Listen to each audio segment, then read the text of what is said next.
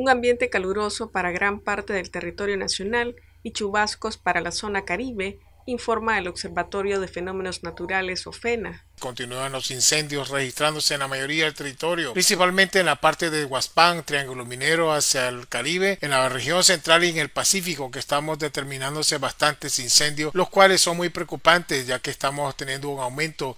del día 12 de abril al 19 de abril un promedio de 5.831 alertas de incendio, donde 351 han sido confirmados de incendios de intensidad fuerte. De la costa oeste de México, el enfrente frío número 50, mantenemos de corrientes de bajo nivel que están afectando nuestro territorio con bastante ráfagas de viento y un sistema de anticiclón se encuentra localizado en el Pacífico oeste de México. Las temperaturas mínimas al amanecer, Pacífico 22-25, región central 18-24, Triángulo Minero 20-21, Caribe de 24 a 26, mientras que las temperaturas máximas Pacífico esperadas de 30 a 36, región central de 29 a 35, Triángulo Minero Sur 31 a 33 y Caribe de 28 a 30 grados Celsius. Las ráfagas de vientos esperadas para de 30 a 45, Pacífico Central de 27 a 52, Pacífico Sur de 28 a 56 para un promedio de 27 a 56 kilómetros por hora, mientras que en la región central Estelí, Madrid, Nueva Segovia 37 a 41, Ortega, Matagalpa y Huaco 34.50. Chontales hacia el sur de 34.49 para un promedio de 34.50 kilómetros por hora. En la, región del Caribe mantenemos en la RAD de 27.37 y en la zona de la RAD de 27.34. En relación a posibles precipitaciones, un día bastante caluroso que tendremos siempre en la zona del Triángulo Minero, algunas lluvias y chubasco como también en San Juan de Nicaragua. Para el día de mañana viernes también pocas posibilidades de precipitaciones, fuertes temperaturas que estarán afectando nuestro territorio debido a estos sistemas de anticiclón en la parte del oeste, poca circulación y formación de nubosidades y para el sábado mantendremos algunos chubascos puntuales aislados entre las zonas de occidente, Managua, Huigalpa, Chontales, en el litoral de la costa del Caribe y puntualmente mientras que el resto del territorio pocas posibilidades de precipitaciones también hoy es un día bastante caluroso estas posibles precipitaciones serán totalmente aisladas y pues, serán puntuales durante el transcurso en horas de la tarde. Para Noticias 12, Gloria Campos.